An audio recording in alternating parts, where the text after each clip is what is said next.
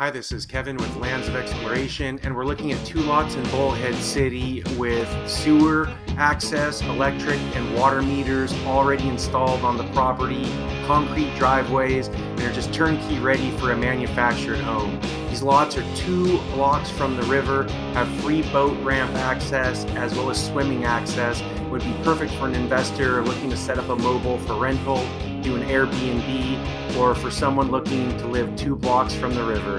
Take a look. Thanks.